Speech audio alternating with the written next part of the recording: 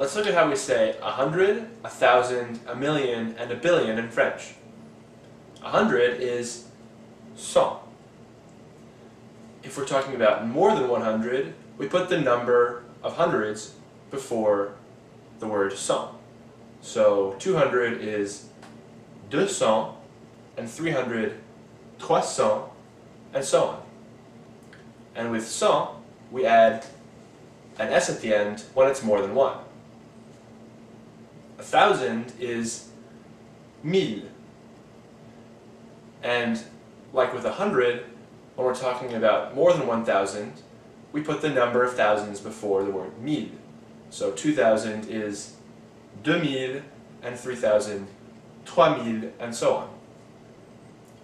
And for mille, unlike for a hundred, we don't write an s at the end of mille when it's more than one.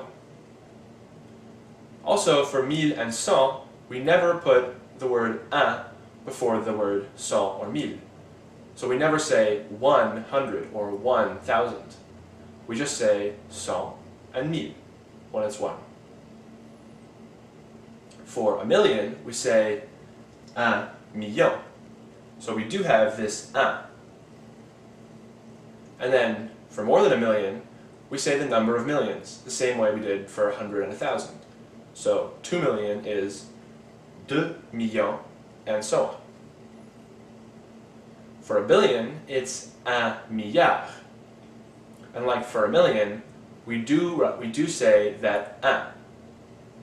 So we get un milliard. And then after that, we put the number of billions we're talking about. So 2 billion is 2 milliards, and so on. And for a million and a billion, we do write an s at the end when it's more than one. If we're talking about the number of, some, of an object, like dollars, dollar, for cent and mille, we just put the object we're talking about after the number. So $100 is cent dollars, and $2,000 is deux mille dollars.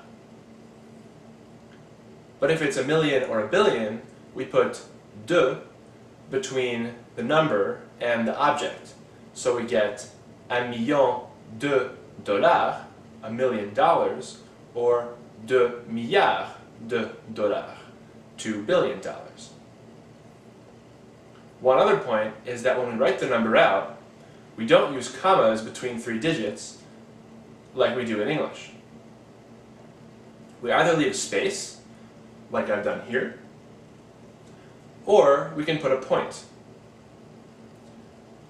When we write a comma, that's what we use to separate the number from the decimals, which is what we use a period for in English. So just be aware of this difference of notation. C'est tout.